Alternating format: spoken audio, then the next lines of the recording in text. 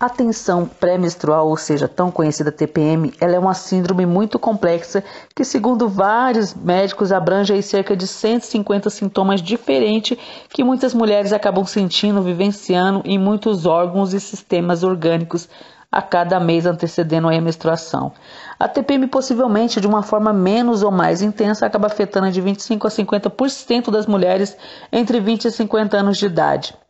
Muitos médicos consideram a TPM que ela pode ser considerada uma espécie de fibromialgia, devido aí às queixas de dores nos músculos esqueléticos, difusa, fadiga, depressão, ansiedade e distúrbio do sono, que também estão presentes em ambas as queixas. Os reumatologistas aí, colaboradores de uma universidade de Gênova na Itália, eles fizeram uma revisão da influência dos hormônios masculinos e femininos sobre aí as dores reumáticas, incluindo as da fibromialgia.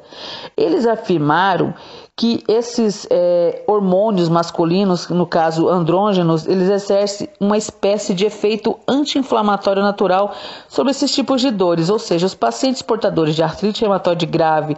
tanto mulheres como homens que têm esses fluidos corporais, seja no líquido sinovial, na saliva, no sêmen e principalmente no sangue, acaba caracterizado pela essa dosagem baixa desse andrógeno, que é de uma, uma origem gonadal, que é no caso da testosterona, e andrógeno de origem da suprarrenal, e a baixa é, relação entre esse andrógeno e estrogênio tem menos dores do tipo reumático. Ou seja, significa que as pessoas, os homens que têm esse hormônio andrógeno, quando denomina essa relação, a inflamação e as dores são menores, mas em várias circunstâncias essa relação fica alterada nesse fluido líquido orgânico aí pelo aumento da presença de várias é, circunstâncias é,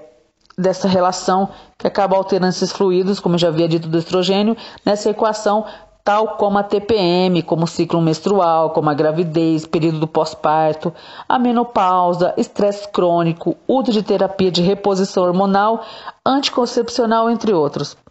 Esses pesquisadores afirmaram que esse dado é importante da biologia hormonal da mulher, não é levado em conta no tratamento e nas queixas de dores articulares das mulheres, ou seja, a gente, nesse período onde nossos hormônios estão à flor da pele, principalmente a TPM, acaba influenciando sim e muito em relação às nossas dores, né? No caso dos homens, eles talvez não sintam tanto por conta aí desse hormônio da testosterona chamada de andrógeno que tá que acaba influenciando muito e acaba tendo menos dores dos tipos reumáticos, né? Ou seja, nós mulheres acabamos sendo afetadas até mesmo nessa intensidade de dor em relação aos nossos hormônios, seja na TPM, seja aí na menopausa, pessoas que acabam tendo que fazer reposição hormonal, mulheres que tomam anticoncepcional, é, pós-parto, enfim, somos influenciadas até nisso. Espero muito que vocês tenham gostado do vídeo. Deixe sua opinião aqui embaixo. Não é inscrito aqui no canal Artrite Reumatoide Muito Além das Juntas, te convido para se inscrever e seguir nossas redes sociais que vai estar tá aqui na descrição do vídeo e fixado no primeiro comentário. Um grande beijo, um grande abraço e até o próximo Artrite Reumatoide Muito Além das Juntas. Tchau, tchau.